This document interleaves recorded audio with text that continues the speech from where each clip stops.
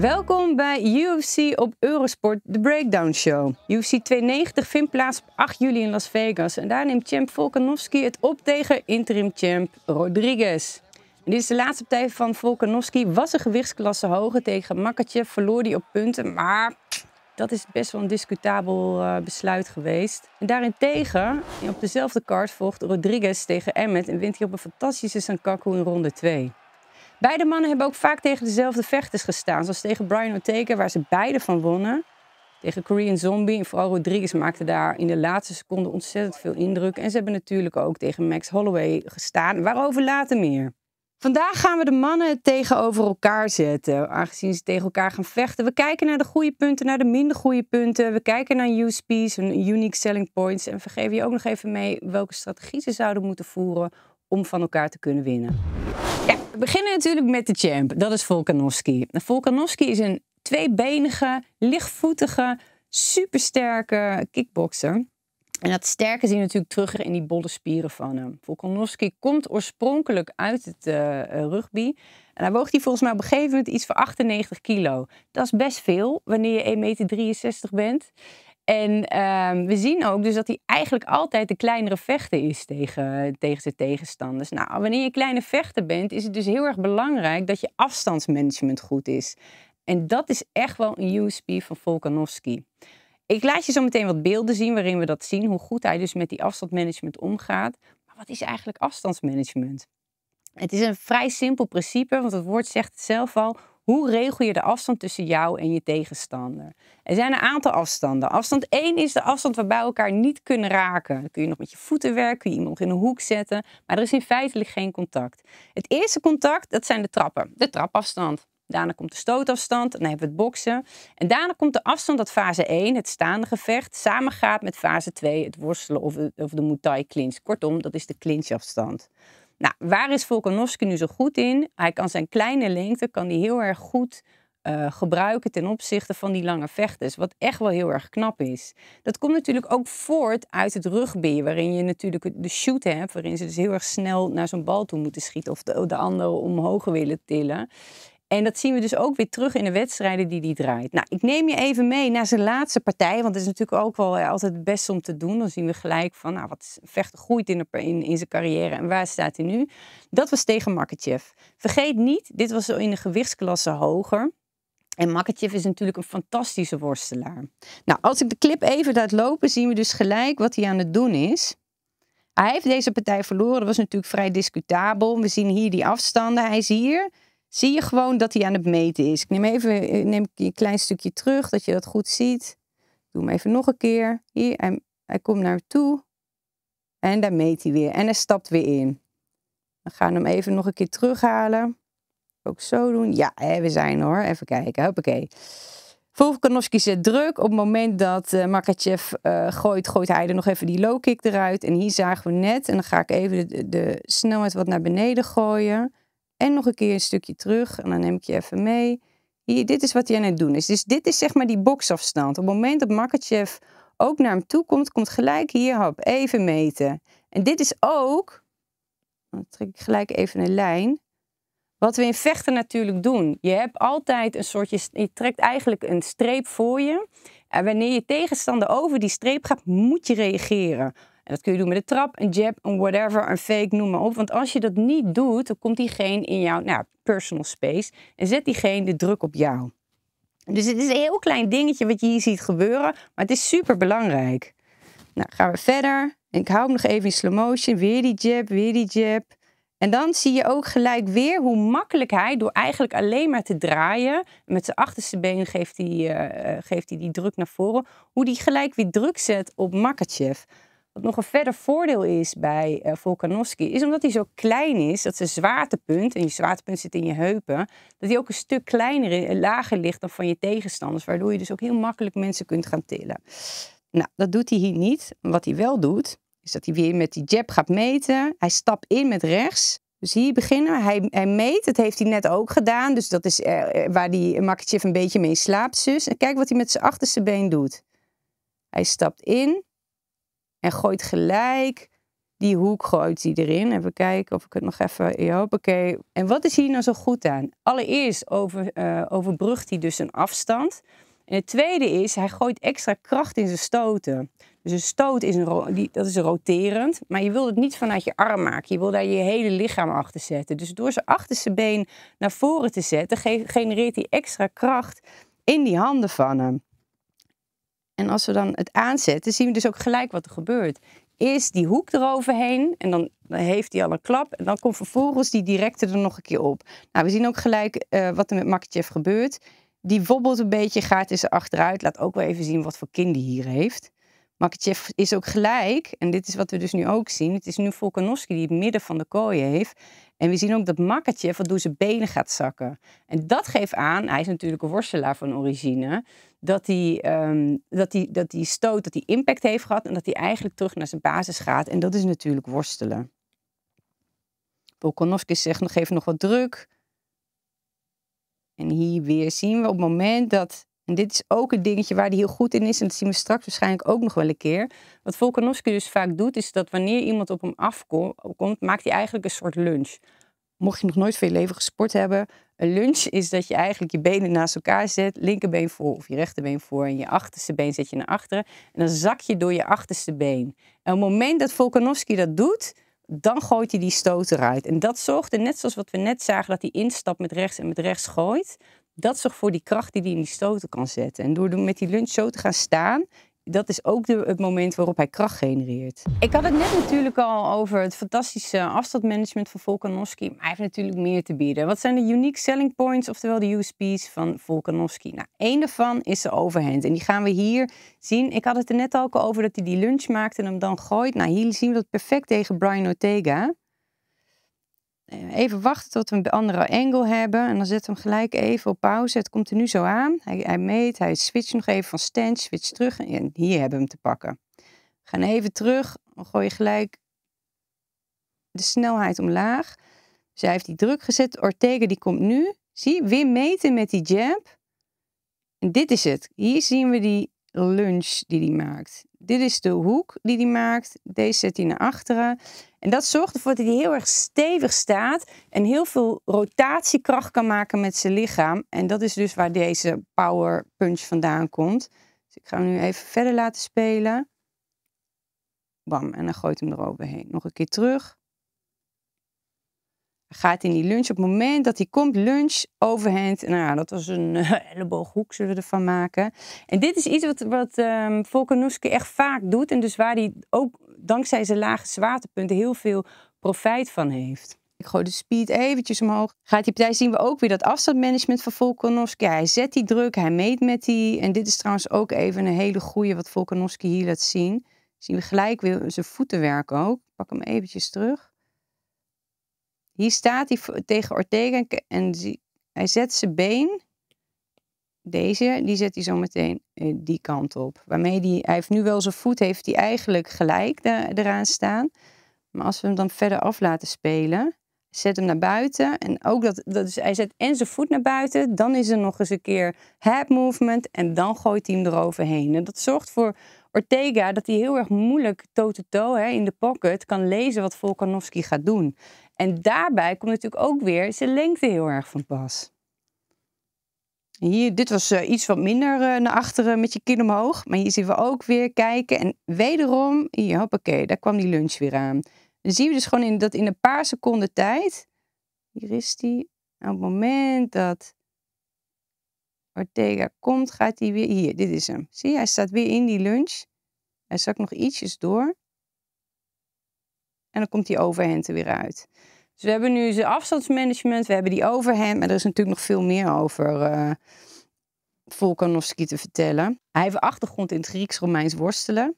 Maar dit is echt wel super iconisch. En wat hij hier laat zien. Hij zat hij echt ontzettend diep in die guillotine. Iedereen dacht dat hij ging afkloppen. Brian Ortega is echt fantastisch op de grond. Je ziet ook hoe snel Brian Ortega hier die guillotine pakt. Hè. Het is Volkanovski die weer op wil gaan staan. Die zet hier zijn hand op de grond. En het is gelijk die arm van Ortega die eromheen gaat. En dat is alleen Dat zijn dingen die je ziet wanneer je jarenlang op de mat hebt gestaan. Dat wanneer je al klap op je kop hebt gehad en je moet ineens schakelen van fase 1 naar fase 2. Hoppakee, naar fase 3 slaat eigenlijk fase 2 over hier, Ortega. Dat je dat gelijk ziet. Nou, Volkanovski, doordat hij op gaat staan, schiet hij eigenlijk volledig in die guillotine. En het is echt, kijk eens, hij, hier die arm, hij kan er gewoon helemaal niks meer mee. Het is Ortega die er compleet uh, vol in zit. En Volkanovski zei ook van, dit zijn de momenten, hier hebben we gewoon in training ook op, op getraind. In zijn trainings, zijn kamps zijn ook echt zo dat ze zeg maar tot het gaatje gaan en nog wat verder. En dan kijken, hè, hoe, hoe reageer je dan als vechter? Het gaat er niet om van hoe kan ik altijd maar druk geven en winnen, hoe kan ik de bully uithangen. Maar hoe ga ik met vechten om op het moment dat alles tegen zit? Nou ja, dat betaalt zich uit in een positie als deze. Kijk, op het moment dat hij eruit komt, kijk ook goed waar, dat, waar die hier die, dat been vast heeft. Nou, als worstelaars, vrijstelworstelaars, dus uh, grond en uh, bovenlichaam, als ze één ding wel kunnen, is een been vastpakken en nooit meer loslaten. Dat been, ook als ik les gaf altijd, was het van als je benen hebt, hou het vast, die is van jou, krijg ze nooit meer terug. Hetzelfde geldt voor een arm overigens. En dit doet hij dus heel goed, want hij blijft eraan uh, vasthouden. En wat hij net deed, is dat hij zijn as draait. Dus hij houdt het been vast, maar hij, hij draait zijn as van zijn lichaam. Dan ga ik nog even snel terug. Hier zie je het gebeuren. Ik zet hem nog even in lekker in slow motion, dat jullie het goed kunnen zien. Dus zijn as van zijn lichaam, die draait hij. Hij draait eigenlijk om het stokje heen wat ik getekend heb. En daardoor, wat hij nu kan gaan doen, hij staat nu haaks eigenlijk op die heupen van Ortega. En wat je normaal ook zou kunnen doen, is dat die arm, dat je hierachter nog echt even een steuntje geeft. Dan is het eigenlijk gewoon dat je iemand laat struikelen over een steuntje wat je hier gemaakt hebt. En spelen hem verder af. Wat, uh, wat Volkanovski doet, die gaat eigenlijk dus gewoon uh, uh, in deze rechte lijn. Dus dat was eigenlijk kans wat hij net kon doen. Maar hij heeft natuurlijk ook korte arm. Nou, hij heeft wel behoorlijke reach trouwens. Um, maar hij koos ervoor om dit te doen. Het is Ortega die weer hiervoor gaat. En daardoor gaat Ortega ook meer op deze kant vallen. Nou, dat komt natuurlijk helemaal uh, van pas bij Volkanovski. Want die denkt, oké, ga je die kant op.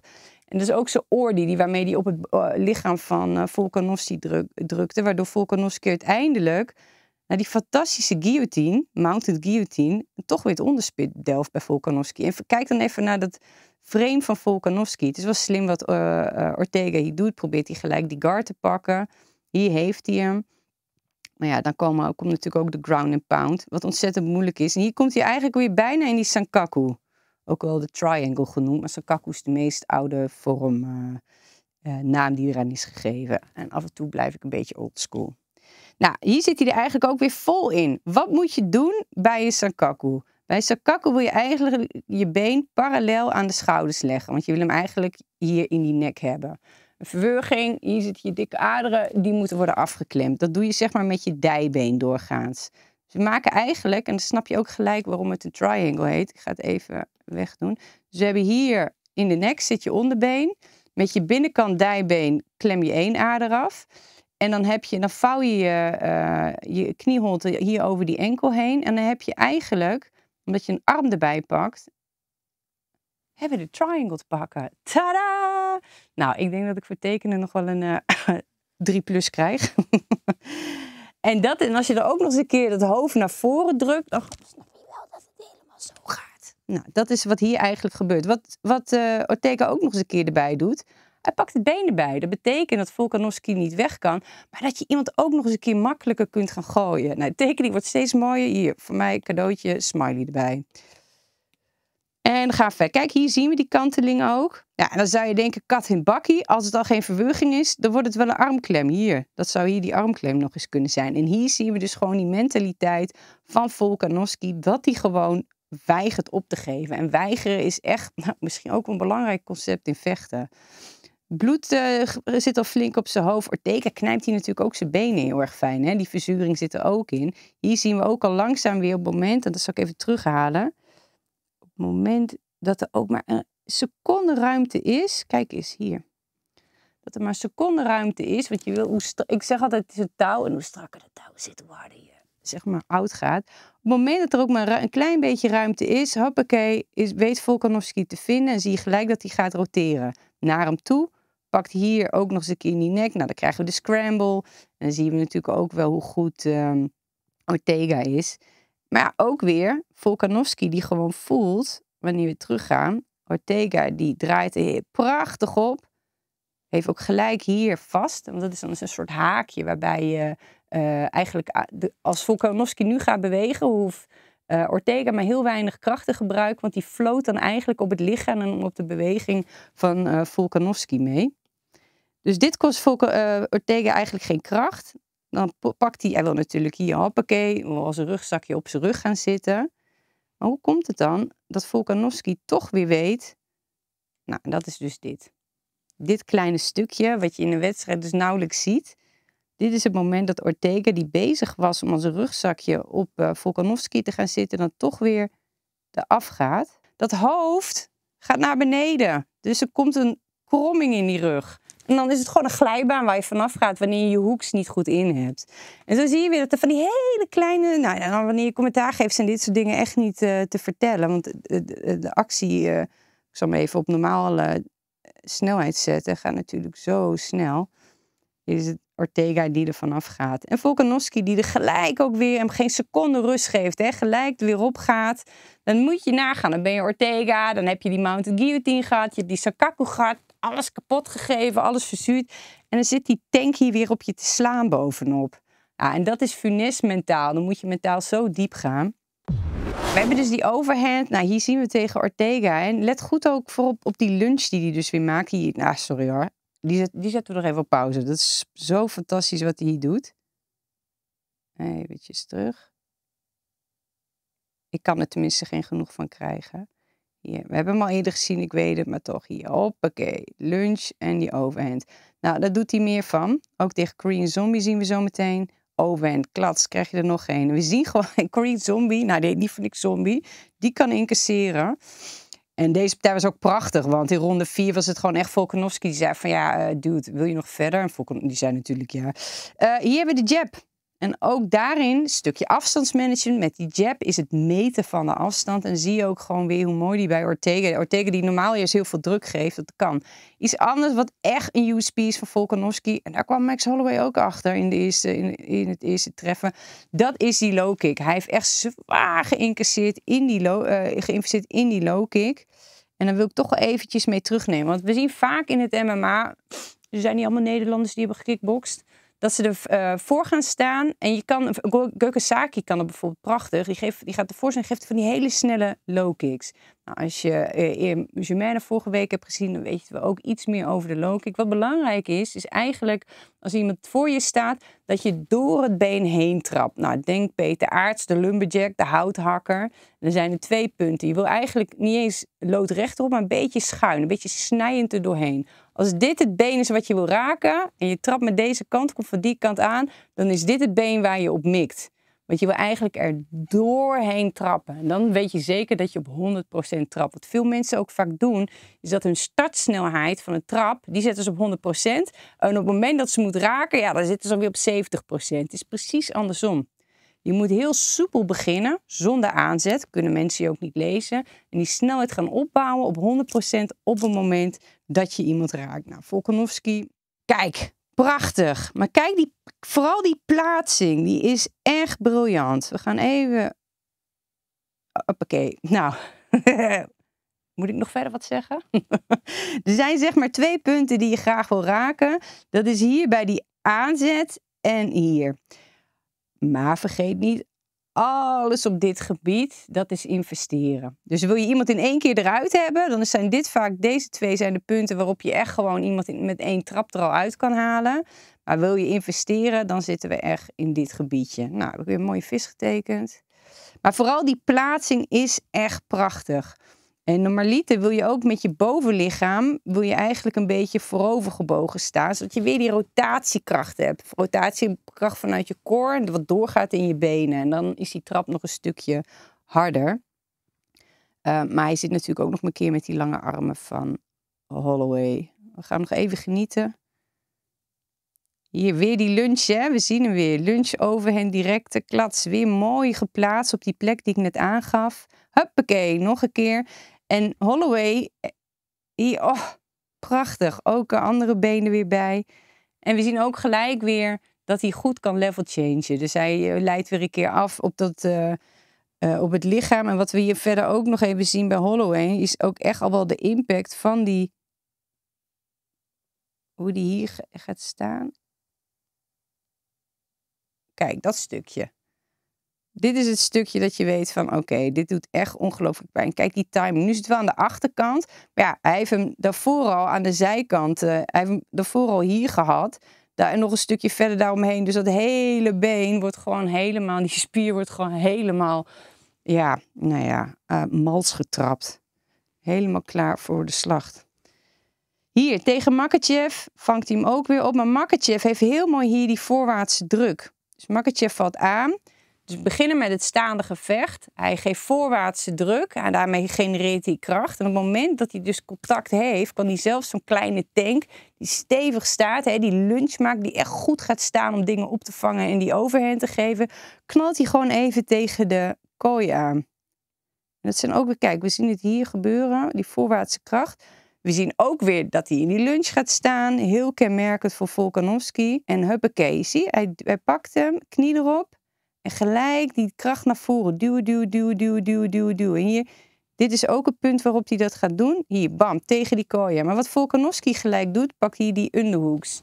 Dat zorgt ervoor dat Makachev niet die level change kan maken. Bijvoorbeeld door eh, een enkelpik te pakken of gewoon simpelweg een single leg te pakken pakt die underhooks en trekt dat hele lichaam daarmee omhoog. En daarvoor is het belangrijk dat je kort daaronder vastpakt. Want hoe, hoe, dichter ik bij die romp ben, hoe meer controle ik ook over die romp heb. Dus als ik hem hier pak, ja, dan heb ik alleen die arm vast. En ik wil in die oksel hebben, omhoog trekken, trek je ook het hele lichaam mee omhoog. Ja, en het defensieve, dit is, dit is gewoon, Makachev is natuurlijk fenomenaal.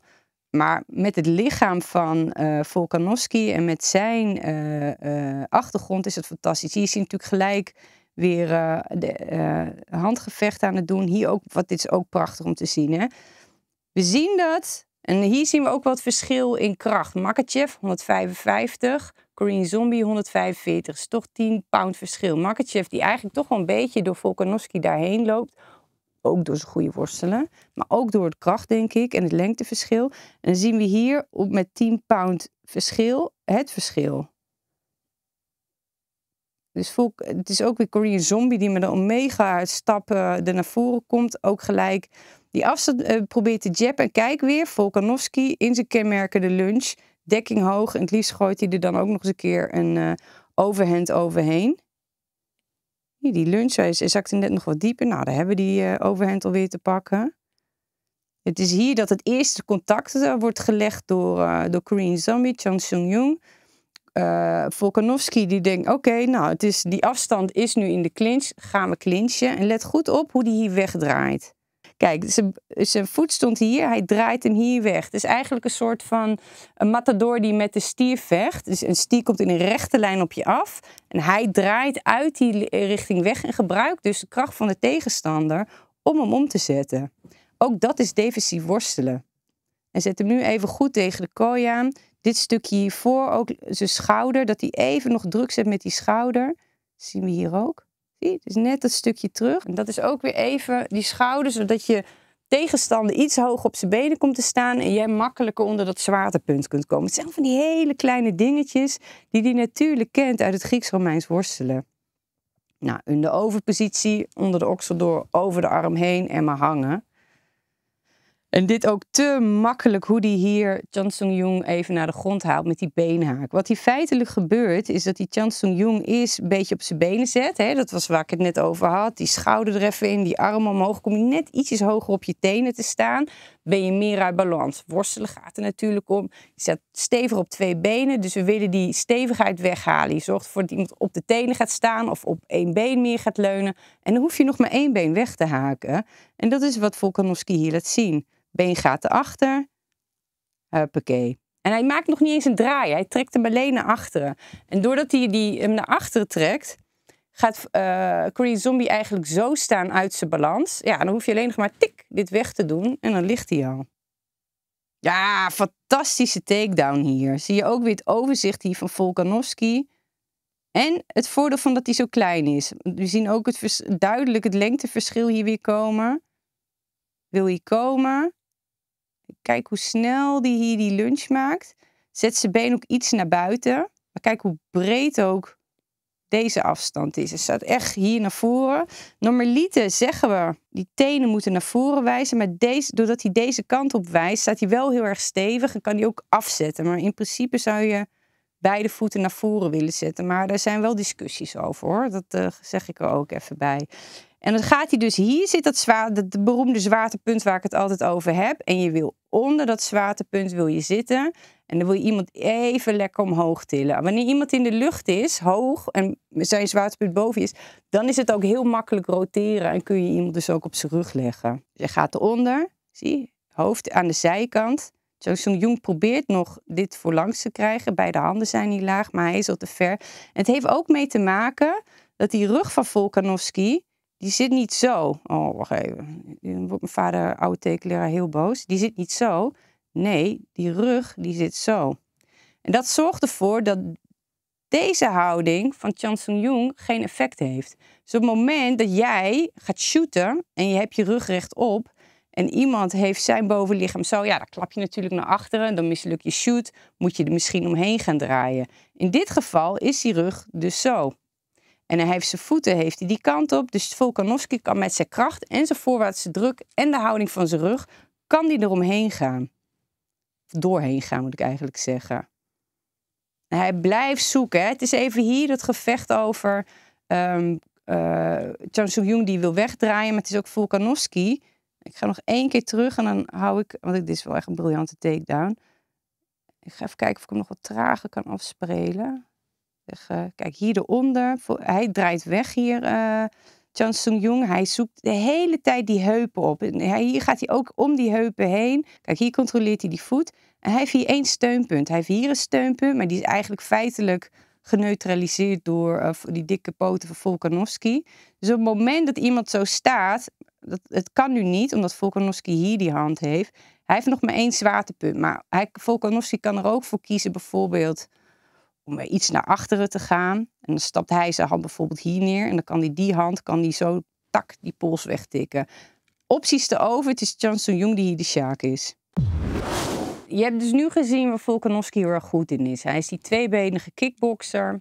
Hij heeft die overhand. We weten nu alles van de lunch af. Hij is sterk in zijn Grieks-Romeins defensief worstelen. En op de grond is hij echt een coole kikker. De lekker tand weg te vliegen tegen de kooi aan.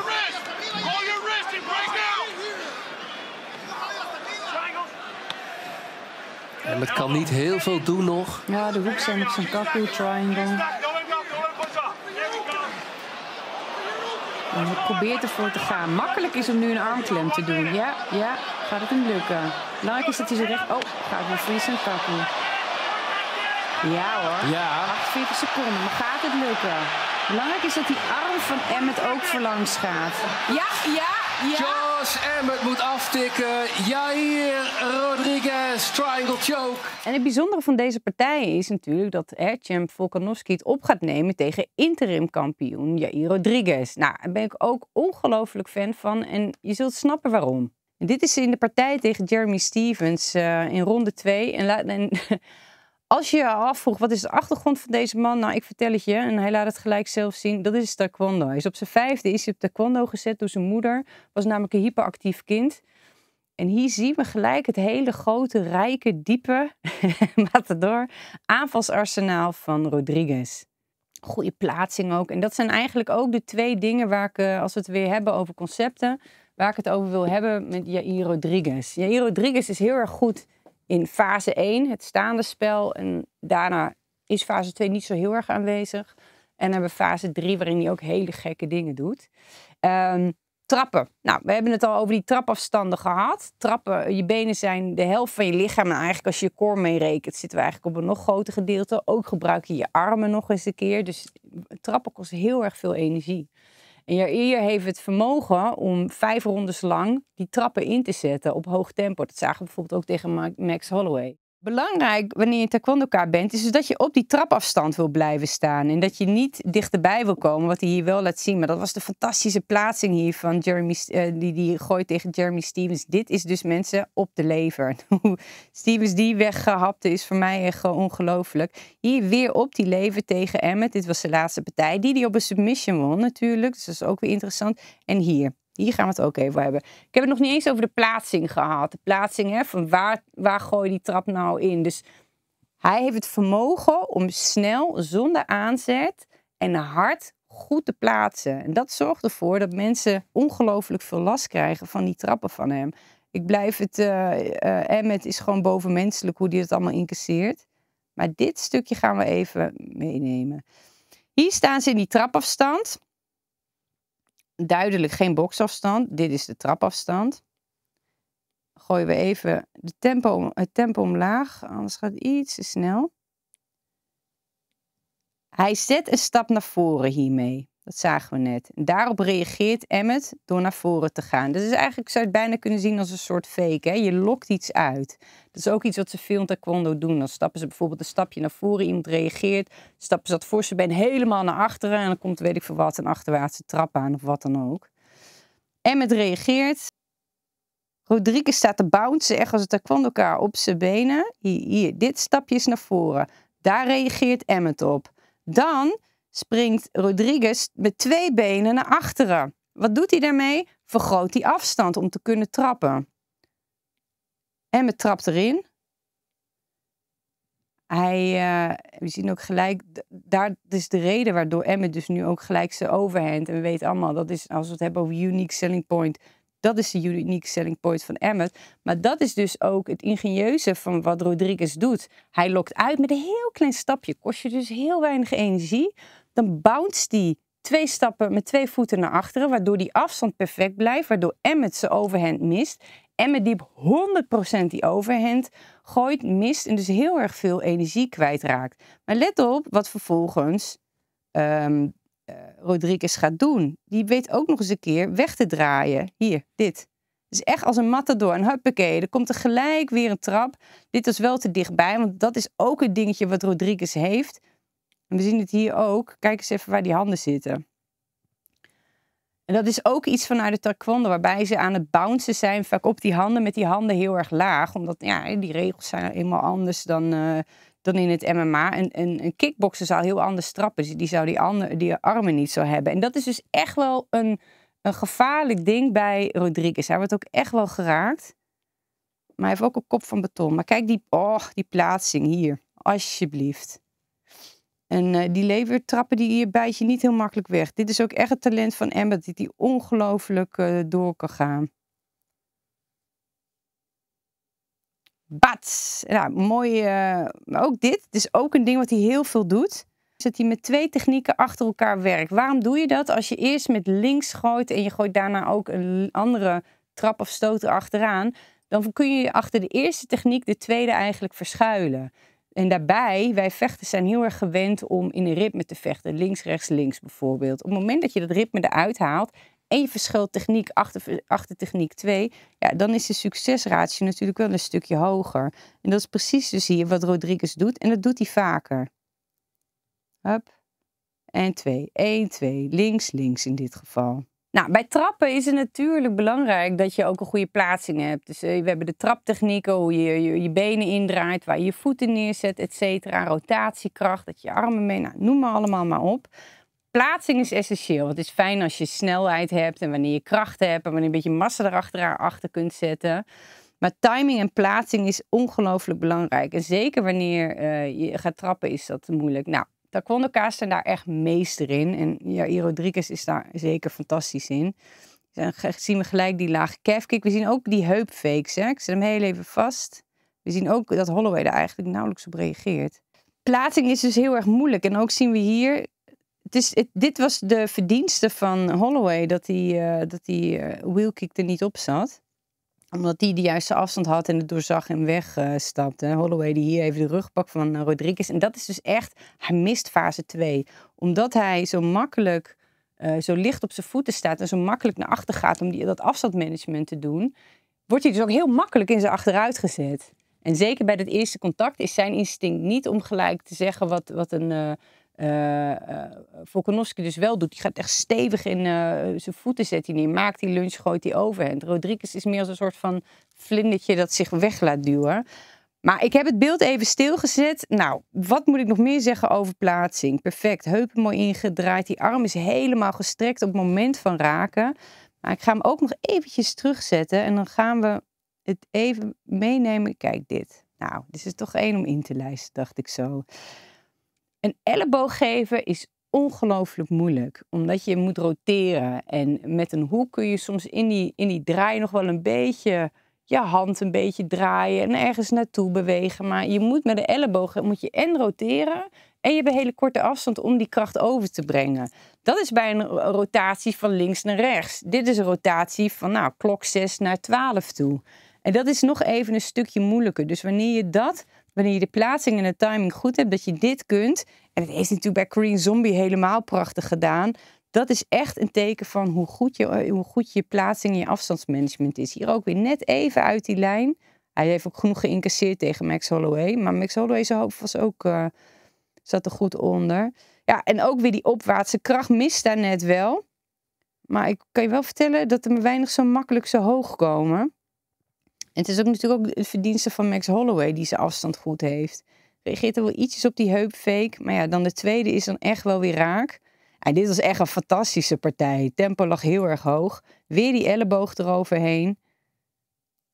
Ja, en we zien het net. Ja, dit is, dit is het briljante van Jair Rodriguez. Jair Rodriguez is altijd gevaarlijk. Ook vanaf de grond doet hij de meest gekke dingen. Maar wanneer je vaker MMA kijkt, hoe vaak heb je dit gezien?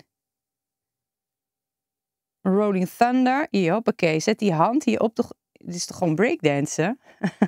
en het is dus ook Um, Holloway, die hier, even kijken, kan ik tekenen? Ja, ik kan tekenen. Die hier uit die lijn bewegen. gaat niet in één rechte lijn naar achteren. En dat is natuurlijk perfect gedaan. Hij gaat wel een beetje, hij stapt denk ik net genoeg weg om hem niet vol erin te krijgen. Maar dit zien we dus echt nooit. En dan doet hij al zo'n hysterische techniek. En dan valt hij op. En dan laat hij zich dus. Hij valt, hij staat op. Hij ziet van waar Holloway is. Dus hij weet altijd waar ze. Kijk, hij maakt hier die rol. Hij staat gewoon keihard op, maar je ziet ook, dit zit hij aankomen. En hij heeft dus het vermogen om in een split second een hele intelligente afweging te maken. En die ook nog eens creatief om te kunnen zetten. Dus je kunt wel dingen heel snel zien. Maar hoe snel kun je met iets komen wat in het moment, terwijl je eigenlijk wil opstaan. Hij moet hier beslissen, nee, ik ga niet ik zet nu al mijn core en mijn kracht en mijn benen in om omhoog te gaan. Maar hé, hey, hier is het gevaar. Dan moet je zo snel kunnen denken om dit te kunnen verzinnen. Van, nou weet je wat, uh, dan maar niet omhoog, dan gaan we terug. Maar niet alleen dat, terwijl ik val, ben ik nog eens een keer gevaarlijk ook. En dat typeert voor mij echt Jair Rodriguez. Ik vind het een fantastische vechter, hele intelligente vechter, maar wel een vechter die dus fase 2 mist. Ik ben ook heel erg benieuwd hoe die, dat, uh, of hoe die daaraan heeft gewerkt. Maar hier zie je het bijvoorbeeld ook heel makkelijk die zich naar achter laat zetten. Maar wel uh, Max Holloway vervolgens ook weer even die up-elleboog uh, gooit. En hij heeft zijn handen dus heel erg laag. Kind is niet beschermd. Dat is natuurlijk ook wel een gevaarlijk ding tegen Volkanovski. Maar ik vind het echt briljant hoe hij die, uh, Rolling Thunder deed. En opkomt, het gevaar ziet, naar beneden valt. En in zijn val gewoon nog even gevaarlijk wordt. Ja, en ik had het net al over van hoe gevaarlijk je I. Rodriguez eigenlijk in zijn achteruit is. Of als hij naar beneden valt, wat hij allemaal weet te verzinnen. Nou, er is één ding wat wel echt voor mij misschien wel het meest iconische is in de UFC. En dat is deze knockout. Dit is, eh, kijk, de mannen staan met de handen in de lucht. Er is een reden voor, want het is uh, ronde 5. We zitten over de 4 minuten, nou wat zal het zijn, 50. Laten we er 45 van maken. Hij is in, in, in een verliezende hand en dan gebeurt er dit. Ja, wat is er gebeurd? Nou, we hebben de replay en die hebben we een stuk of vijf keer. Jair Rodriguez in zijn achteruit zou gewoon keihard verliezen. En kijk wat hij hier doet. Hij buigt en hij gooit zijn elleboog omhoog. En Korean Zombie, zombie omdat hij zo ongelooflijk kan incasseren, gaat hard, hard knock-out. Kijk, dan nog eens. Even fijn stilgezet ook. Dus die voorwaartse kracht, dekking is, nou, weg. En Jair Rodriguez weet in zijn achteruit te bedenken dat hij eigenlijk, terwijl als je naar voren gaat, je kan ook op je knieën eindigen, want er komt nogal een gevaart op je afgestormd. Nee, hij kiest ervoor om naar voren te buigen, dus dat, daarmee wordt zijn afstand ook verkort. En die elleboog eruit te gooien. En dit voor mij typeert echt Jair Rodriguez. Dat iemand gehavend, onder druk, hartstikke vermoeid de ronde 5 hele risicovolle en creatieve technieken weet te verzinnen. Er is natuurlijk ook wel een soort van kryptonite voor hem en dat is het worstelen. We zien nu zo meteen een clipje, dit is tegen uh, Holloway, waarin uh, Rodriguez sowieso, zo waar zelf nog voor een takedown gaat. Die komt er nu zo aan, nou, hij loopt hem vast, even hem eigenlijk bijna toevallig vast. Wat hij wel, en dit moet wel even gezegd worden, wat hij wel mooi doet en ook weer ziet in een fractie van een seconde en weer met een creatieve oplossing komt Kijk, hij heeft het, zijn hoofd heeft hij aan de buitenkant zitten, dus aan de, aan de rechterflank van Holloway. Dat been zit voorlangs. Dus je kan nu eigenlijk biomechanisch kan je nog maar één kant op. En dat is naar links. Want als hij helemaal zou willen, zou hij nog zeg maar dit been echt zou willen, zou hij dit been nog hier omheen kunnen haken. Maar dan moet je wel heel erg strekken en dat is gewoon niet handig. Dus de meest handige manier is om naar links te gaan. Alleen, daar staat geen fundament meer, want het fundament heeft hij al vast. Dus hij kan niet dit fundament weghalen. Kortom, hij moet wat anders verzinnen en dat doet hij dus ook.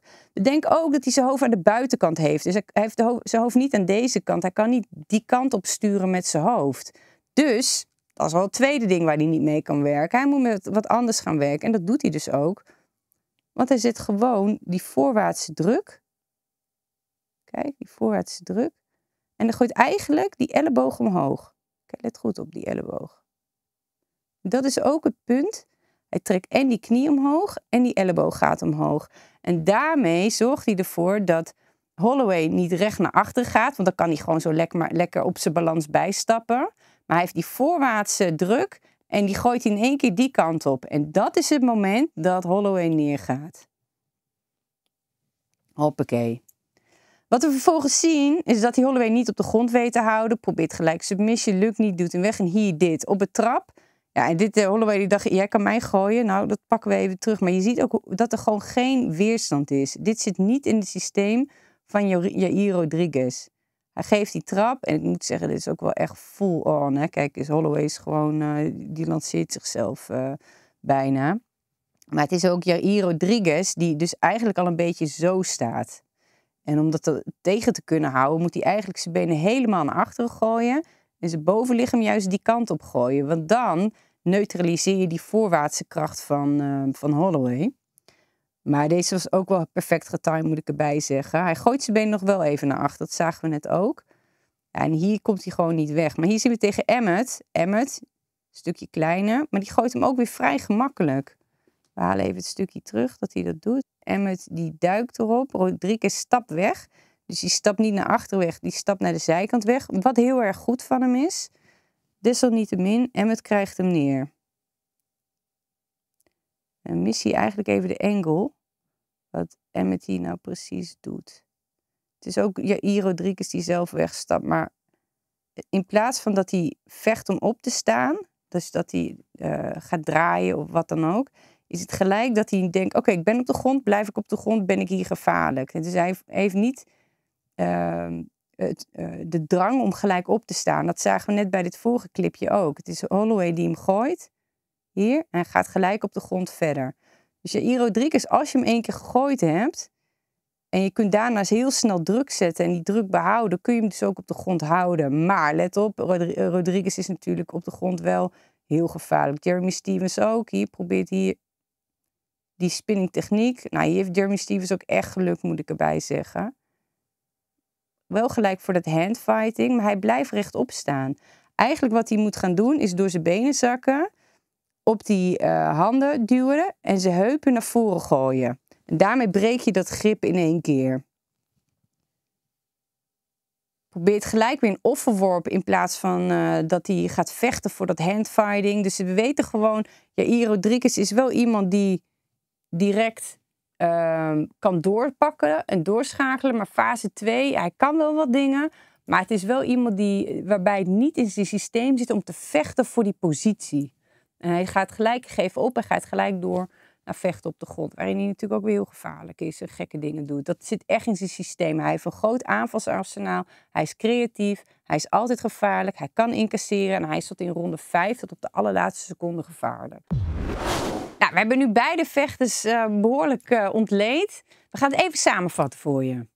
Beginnen we met Volkanovski, de kampioen. De kleine, sterke, tweebenige kickbokser met een heel goed afstandsmanagement. En gaat het opnemen natuurlijk, zoals je inmiddels weet, tegen interim champ Jair Rodriguez. Die hele creatieve, allround, tweebenige taekwondo met een mega aanvalsarsenaal.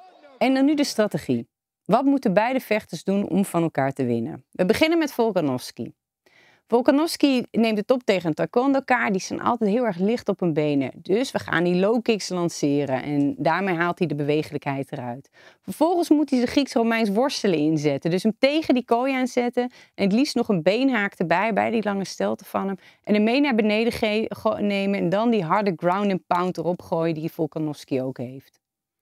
En dan Jair Rodriguez. Wat moet hij gaan doen? Nou, wat ook hij moet gaan doen is Volkanovski in zijn achteruit zetten. Want wat dan gebeurt, is dat hij vaak op zijn achterste been gaat staan en zijn kin omhoog gooit. En daarom is het van belang dat hij twee technieken achter elkaar gaat gooien. Dat hebben we eerder al gezien, links-links. Dus Volkanovski zal waarschijnlijk die eerste techniek wel ontwijken, vooral vanwege zijn afstandsmanagement en zijn goede oog, maar die tweede die zal raak zijn. En daarvoor moet je hier zijn rijke traparsenaal gaan inzetten. Ja, Volkanovski tegen die kooi aan, Zorg ervoor dat die stootuitwisselingen komt en gooi dan die links-links erachteraan. Een linker stoot, linker trap. Kat in bakkie. Alle vechters zijn nu helemaal nageplozen. Je weet precies wat ze wel en niet moeten doen. En het is nu een kwestie van kijken. Wordt het de ongenaakbare Volkanovski, want hij is nog steeds ongeslagen op dit gewicht? Of is het Jair Rodriguez die zijn interimtitel omzet in de echte belt? We gaan het zien. Het is live op Discovery. Bedankt voor het kijken en tot de volgende breakdown. Skill for skill, many have believed him to be the best in the world for some time. The featherweight world beater, Alexander Volkanovski. He's one of the most impressive champions in the history of the sport. There is levels to this game, and he's the highest. Round after round, blow after blow. Bring it! I'm the top dog, you already know. But now it's my turn. I'm willing to give it all to become the champion. I got the fight of a dog in me. There are few brands of violence as compelling as Yair Rodriguez. Ain't no holding me back, I strike. He wants to prove that he deserves that belt. Oh, he's tapped! That's it. Yair Rodriguez! Wow! The interim UFC featherweight champion. Yair Rodriguez is a real threat. But I'm the best, no matter who's in front of me. Alexander, the great Volkanovski, ladies and gentlemen. He is as skilled in all phases as any fighter consensus best featherweight of all time. I'm on another level right now. I can't be stopped. Jair Rodriguez! Jair Rodriguez is a video game. We have not seen anything like him. He's one of one. The speed and the technique. Jair Rodriguez is special. Viva Mexico! No doubt the people of Mexico going crazy right now. Brandon Moreno! Look at the passion this guy has for fighting. The first Mexican-born UFC champion. He's so tough, and he's just got that warrior's mentality. Let's go! Alexandre Pantoja! He has a history of victory against Brandon Moreno. And he is a guy that can put anyone out. I come to finish Brandon Moreno. I'm the next lightweight champion! This is it. This is as good as it gets in the sport. Robert Whitaker! He wants to cement his legacy and become the champion again. I'm gonna go to war. Dricus Duplessis! He's off to a perfect start in the UFC. I'm going to be the first African UFC champion. Two undisputed UFC titles on the line. This is International Fight Week.